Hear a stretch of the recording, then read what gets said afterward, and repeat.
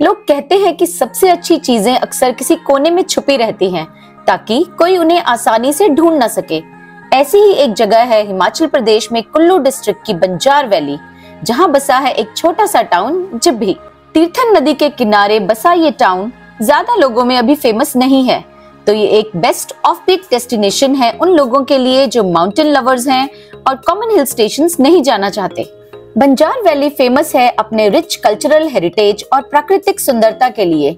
ऊँचे ऊँचे देवदार के पेड़ नदियाँ और यहाँ के वाटरफॉल्स सब मिलकर जिब्भी और बंजार को एक डिजायरेबल ऑफ़ पिट डेस्टिनेशन बनाते हैं। सो so, ये जिब्बी वाटरफॉल की एंट्री है एंट्री गेट है टिकट हमने ली है। Ticket adult is rupees twenty and for children it's rupees ten रास्ता जो है वाटरफॉल तक जाने का बहुत ही सुंदर है। मतलब जैसे जंगल के बीच में से छोटा सा ट्रेल है वो है उसमें से जाएँगे और साइड में भी थोड़ा थोड़ा पानी चल रहा है। देखो जैसे मैंने बताया था बीच में से, से ट्रेल जाता है तो ये रास्ता पूरा आगे तक बना हुआ है वाटरफॉल तक काफ़ी सुंदर लगता है। आसपास ऊँचा ऊँचे जैसे ना पहाड़ के ही पीसेस भी नहीं मैं बोलूँगी पहाड़ है ऊँचे दोनों तरफ़ और थोड़ा थोड़ा ना यहाँ पे देख के जैसे अवतार मूवी में सीन्स होते हैं ना उसकी भी याद आती है। मतलब ध्यान आता है आपको कि ऐसा ही था उसमें भी। पानी बह रहा है यू नो पहाड़ों के बीच में से जा रहे हैं जंगल ही जंगल है।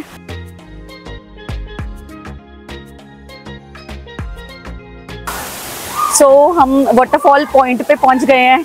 और जैसे कि आप मेरे पीछे देख सकते हैं यहाँ पे बहुत ज़्यादा रश है। यू नो पूरा कंपटीशन हो रहा है लोगों की चीखों का और वाटरफॉल की आवाज़ का।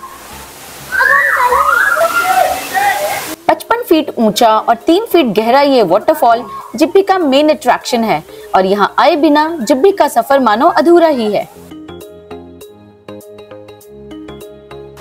सो so, वाटरफॉल तक मैं हुआ ही पानी इतना ठंडा था ना जैसे कि बर्फ़ की सिलियाँ रखी हैं किसी ने अंदर और पिघल रही हैं। यू नो दर्द हो गया एकदम पैरों में। और शूज़ मैंने हाथ में उठा लिए क्योंकि पैर गीले हैं। अब मैं नीचे कहीं जगह मिलेगी बैठ के वहाँ पे पैर सुखा के अपने फिर पहनूँगी। तो जून का मंथ है, फिर भी पानी इतना ज़्यादा ठंडा है, जबकि इतनी गर्मी होती है इस टाइम पे। और वही सीज़न भी है ये तो लोग काफ़ी ज़्यादा है, बहुत रश है ऊपर। बट ये है कि हाँ अगर आप जिब्भी में ही स्टे कर रहे हैं दो तीन दिन का तो टाइम स्पेंड करने के लिए बहुत अच्छी जगह है।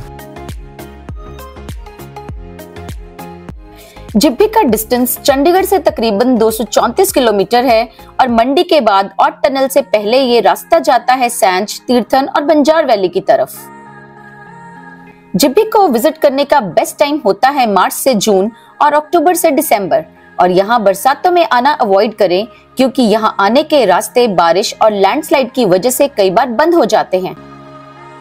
एक चीज़ जो मैंने नोटिस की ना बहुत इंपॉर्टेंट आप चाहे सड़क पे चल रहे हो, चाहे आप कार ड्राइविंग कर रहे हो, आपको बहुत ही ध्यान से चलना चाहिए यहाँ पे, क्योंकि जो लोकल टैक्सी ड्राइवर्स भी है ना यहाँ पे, वो बहुत फास्ट चलते हैं, क्योंकि उनको तो एक्सपीरियंस है, रोज़ इन्हीं सड़कों से जाते हैं। और साइड भी बहुत ही कम देते हैं वो आपको बट आपसे वो साइड बार बार मांगते हैं, जो मैंने नोटिस किया है कि इस चीज़ में बिल्कुल भी हेल्पफुल नहीं होते कि कोई बाहर का आया है, थोड़ा टाइम देते हैं उनको but not at all Please like the video and subscribe to my channel and press the bell icon for the new video notifications.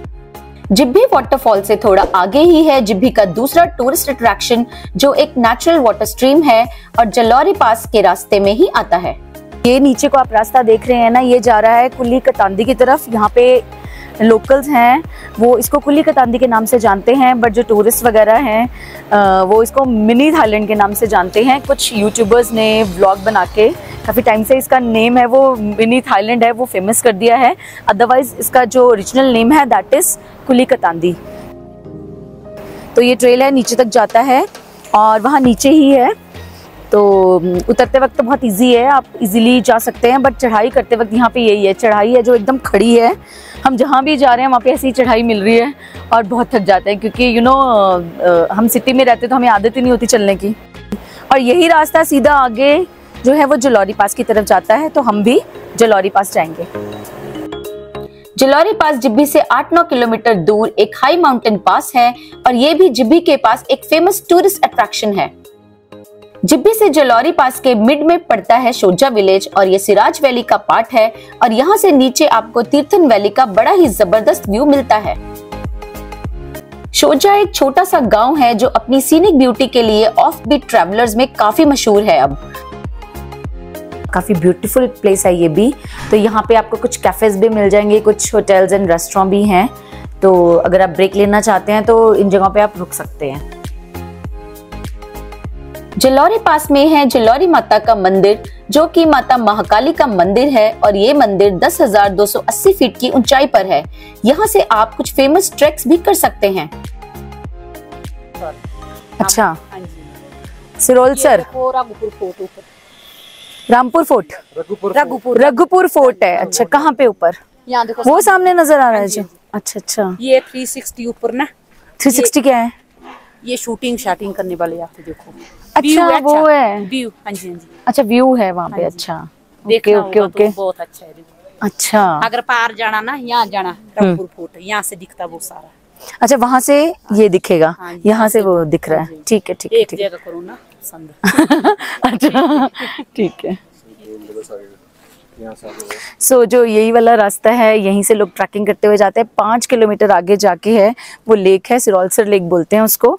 और यहाँ पे लोकल्स उसको जैसे अब बताया इन्होंने अभी के बूढ़ी नागिनी के नाम से जानते हैं। पूछते हैं ये देवी की तरह। बहुत बड़ी झील है वहाँ पे। और यहाँ से ही सामने दिखता है रघुपुर फोर्ट। और यहाँ पे ऊपर एक प्लेस है जिसको 360 बोलते हैं। यहाँ पे शूटिंग वगैरह होती है। और वहाँ से कहते हैं कि व्यू बहुत अच्छा है। सिरोलसर लेक ट्रैक और रघुपुर फोर्ट ट्रैक दो फ़ेमस ट्रैक हैं यहाँ करने के लिए। दोनों ही track easy to moderate category के ट्रैक हैं, जिनको आप यहाँ कर सकते हैं। जिब्बी के पास ही है टांडी विलेज जो कि मशहूर है tree house village of India के नाम से। अगर आपने मेरा टांडी वाला वीडियो नहीं देखा है तो आपको लिंक ऊपर आई के आइकन पर या डिस्क्रिप्शन में मिल जाएगा। जिब्बी के पास ही चैनी विलेज भी है, जहाँ है चैनी कोठी। चैनी कोठी पूरे हिमाचल की सबसे पुरानी और ऊँची इमारत है, जो कि 17th सेंचुरी में बनवाई गई थी। ओल्ड हिमाचली आर्किटेक्ट में बनी ये बिल्डिंग आपको हैरत में डाल देगी। जिब्बी के पास ही और भी कई ब्यूटीफुल लोकेशंस हैं जहाँ आप विज़िट कर सकते हैं। उनमें से हैं बालूनाग टेंपल श्रृंगा ऋषि टेंपल और पांडुरोपा। जिब्बी को पूरी तरह से एक्सप्लोर करने के लिए आपको दो से तीन दिन चाहिए। यहाँ काफ़ी सारे होटल्स और होम स्टेज रेस्टोरेंट और कैफ़े हैं तो स्टे और फ़ूड की यहाँ कोई प्रॉब्लम आपको फेस नहीं करनी पड़ेगी। अगर आपको ये वीडियो पसंद आया तो वीडियो लाइक ज़रूर कर दें। फिर मिलेंगे किसी और डेस्टिनेशन पर। तब तक के लिए बाय बाय